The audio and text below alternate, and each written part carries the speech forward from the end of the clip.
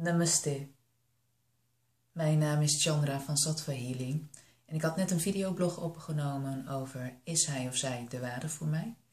Dit is de videoblog met de vraagstelling die ik ook kreeg uh, en de vraag was waarom trek ik elke keer dezelfde soort partners aan? Wat ik om me heen zie en wat ik ook ervaren heb, is wat ik ook in, het vorige, in de vorige blog heb benoemd. De eerste verbinding en relatie die je hebt, is de verbinding met jezelf. In je kindertijd heb je eigenlijk in je omgeving geleerd, onbewust en heel veel informatie opgeslagen, hoe relaties horen te zijn. En dan horen tussen haakjes. Want we kennen allemaal wel mensen die gescheiden ouders hebben. Of uh, je hebt zelf ouders die gescheiden zijn. Of je ziet dat bepaalde partnerschappen helemaal niet hebben gewerkt. Of uh, dat bepaalde negatieve eigenschappen van de ene ouder uh, ervoor zorgden dat de andere ouder daar gewoon absoluut niet tegen kon. Waardoor er spanningen ontstonden. We hebben ook allemaal wel meegemaakt, of we kennen ook vast wel ouders die bijvoorbeeld omwille van het gezin de keuze hebben gemaakt om zichzelf helemaal weg te cijferen. En andere uh, personen de, domina, uh, de dominante rol te laten spelen.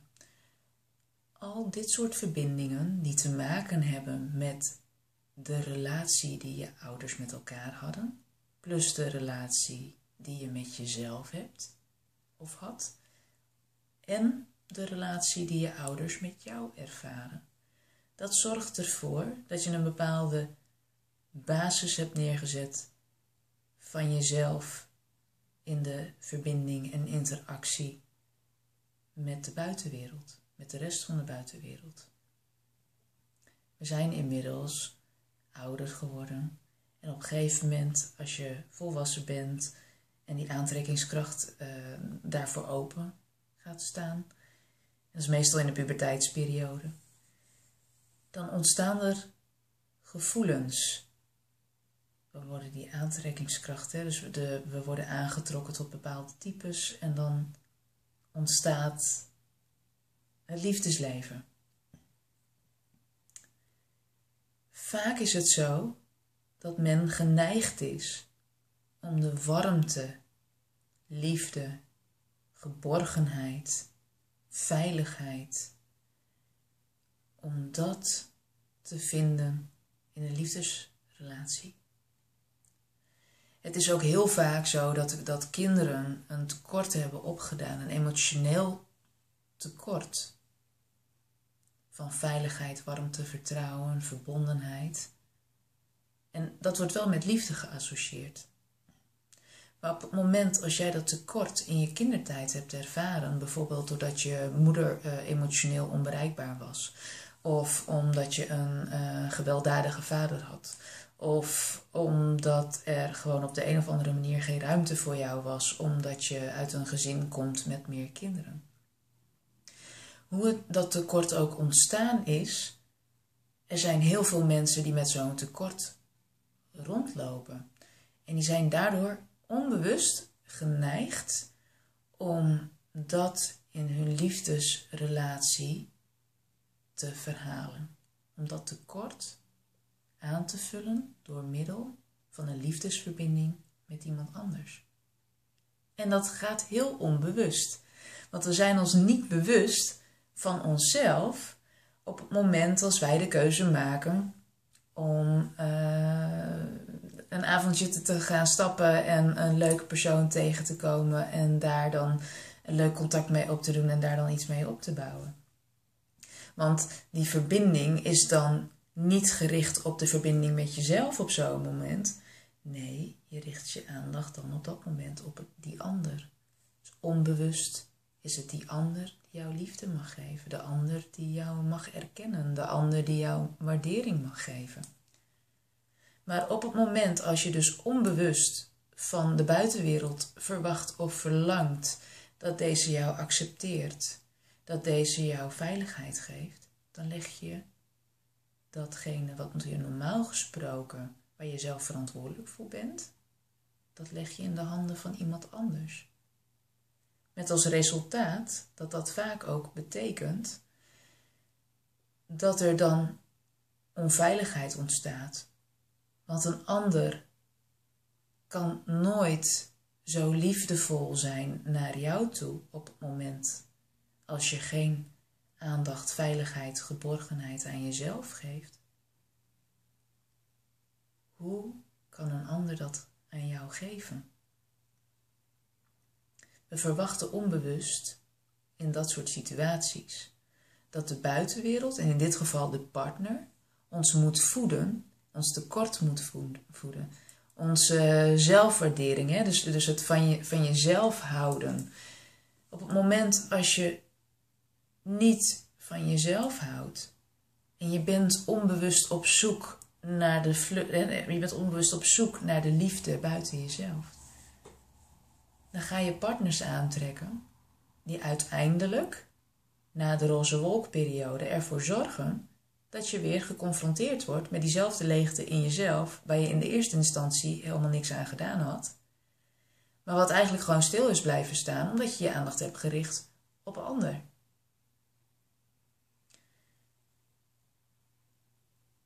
Hoe kun je dat patroon doorbreken?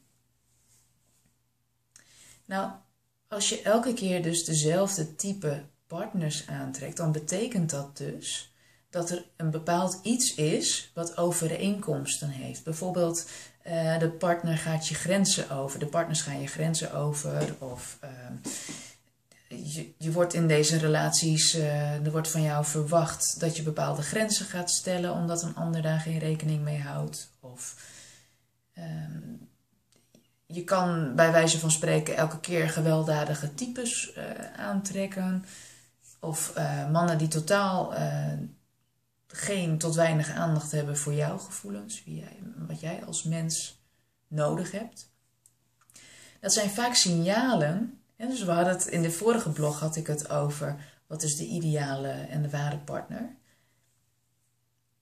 En toen zei ik ook al van als je hele mooie kwaliteiten ziet in de ander, dat zijn eigenlijk reflecties van jezelf. Maar de minder mooie kwaliteiten die je in anderen ziet, kunnen ook schakeltjes zijn van de kwaliteiten die jij ook in je hebt.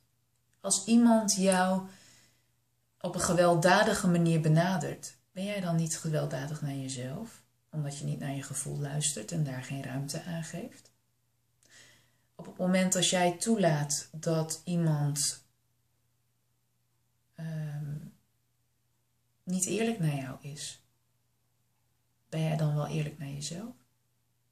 Dat zijn allemaal vragen die je jezelf kan stellen om erachter te komen wat, nou, wat deze soort partners jou willen vertellen.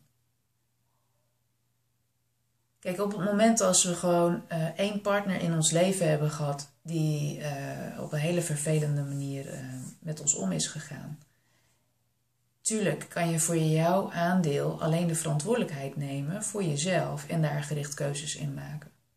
Maar op het moment als je structureel dezelfde soort personen aantrekt, of je kiest ervoor om gewoon, um, nou, op het moment als je net uh, de ene partner buiten de deur hebt gezet, of uh, dat, die, dat die verbinding verbroken is en je gaat uh, binnen twee, drie maanden of weet ik veel, een half jaar op zoek naar een nieuwe partner dan betekent dat dus dat je alles wat te maken heeft met de onverwerkte stukken pijn, verdriet, de dingen die je tegenkwam, bijvoorbeeld uh, dat je partner uh, uh, nou ja, zo gesloten was dat, je, dat jullie geen open communicatie meer met elkaar hadden. of gewoon bepaalde spelletjes met je speelden en dat je dat nooit hebt uit kunnen spreken, bijvoorbeeld. Op het moment als je dat soort dingen niet afrondt, dan kan het gewoon heel goed dat je dat in een nieuwe verbinding, want dan ga je je hart weer openstellen. En dan komt het, in de eerste instantie is het vertrouwen er wel, maar op het moment als je huidige partner zich dan bijvoorbeeld terug gaat trekken, dan kan de oude pijn weerspiegeld worden in het hier en nu. En het is dan belangrijk om uit te spreken, of in ieder geval voor jezelf te voelen van hé, hey, waar komt deze pijn van, vandaan? Waarom raakt het mij dat uh, deze partner zich zo uh, teruggetrokken heeft, bijvoorbeeld? Op het moment als je kan herleiden dat dat te maken heeft met een eerdere relatie, probeer dan zo ver mogelijk te kijken van hé, hey, waar heb ik dat patroon leren kennen? Heeft dat te maken met mijn ouders? Hè? Is het een van mijn ouders met, met wie ik zo'n verbinding voelde? Iemand die zich helemaal terugtrok? Heeft dat, als dat zo is, kijk, dan weet je dat dat te maken heeft met een kindstuk. Hè? Dus met pijn die je in je kindertijd hebt gevoeld. Maar wat nu geheeld wordt door middel van die spiegel in de buitenwereld. En het allermooiste zou zijn als je dit soort dingen ook kan delen met je partner. En als je partner ook op zo'n manier in het leven staat, nou, wauw, dat is echt zo fantastisch als je zoiets mag meemaken. Maar goed, aan de andere kant, ja, iedereen is vrij om te kiezen en keuzes te maken van, nou, de ene partner die hoeft niet per se uh, de keuze te maken om op die manier heel actief met zichzelf bezig te zijn. Ja, het is wel belangrijk dat je gewoon um, als je pijnplekken of gevoelige dingen tegenkomt, dat je dat kan delen. En als je dat niet met je partner kan delen, want het is wel je eigen individuele, individuele proces, nou, probeer iemand in je omgeving te vinden om, uh, om vanuit vertrouwen naar dit soort dingen te kijken. En doordat je hierover praat, doordat je hierover deelt, kan ook zijn dat je het liever niet wil bespreken, maar dat je van je af gaat schrijven. Dat kan. Maar doordat je daar ruimte en aandacht aan schenkt, en, en in je gevoel kijkt naar de oude pijnplekken, naar het oude gevoel, dan geef je er echt ruimte aan. En dan heeft het de kans om te helen en te genezen. En sommige processen kosten gewoon wat langer tijd dan wat we hier in ons hoofd denken. Soms denken we van, oh, ik heb al lang een persoon losgelaten, maar het hart en op zielniveau moeten ook tot één geheel samengevoegd worden.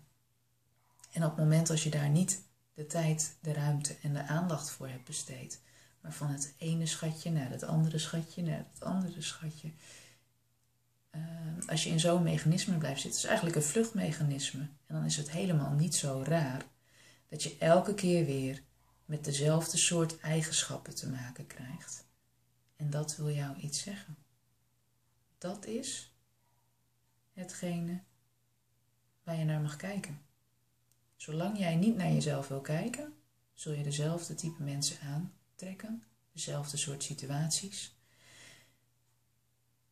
En is het dan dezelfde soort partners? Nee. De buitenwereld is een reflectie van jezelf. Dus ook al heeft deze persoon normaal gesproken een hele andere vibe in zich en uh, is het een hele andere persoonlijkheid. Maar doordat je het niet verwerkt hebt, wordt het gereflecteerd en lijkt het net alsof je het verleden weer terug ziet komen in het hier en nu. Dus als je gaat kijken naar je partners die je hebt gehad in je leven, eh, op het moment als je ziet van hé, hey, ik zie verandering, ik zie verschillende type partners of bepaalde kwaliteiten, of nou ja, natuurlijk zullen er bepaalde overeenkomsten zijn dat je van nature bijvoorbeeld een rustig persoon bent en uh, dat je bijvoorbeeld uh, nou ja, extraverte types aantrekt. Dus dat hoeft helemaal niet vervelend of, of lastig te zijn of uh, een bepaald teken. Maar als je merkt dat er bepaalde groei zit, dus dat, dat je bijvoorbeeld uh, eerste partner aantrok die bijvoorbeeld alleen maar aan het manipuleren was en aan het proberen was om je uit te testen, en je hebt in die relatie geleerd om je grenzen te stellen, nee te zeggen, voor jezelf te kiezen. En je trekt uh, na een tijdje een bepaalde partner aan met wie je gewoon open kan communiceren over alles, over je diepste gevoelens. Dat is echt een wereld van verschil. Maar als je die twee dingen naast elkaar zet en je ziet het verschil, dan betekent het ook dat je ook automatisch ziet welke groei je zelf hebt doorgemaakt. En dat is echt een van de mooiste dingen die je kan meemaken. Want dat betekent dat je gewoon jezelf mag zijn, dat je gewoon verder mag groeien. En dat je dat soort vervelende spelletjes niet meer mee hoeft te maken. Ik wou het uh, voor nu hierbij laten, dit onderwerp. Ik hoop dat je er iets aan gehad hebt. En nou ja, mocht je dit bericht uh, toepasselijk vinden, liken, delen, reageren, mag heel graag. Bedankt voor het kijken en voor nu, namaste.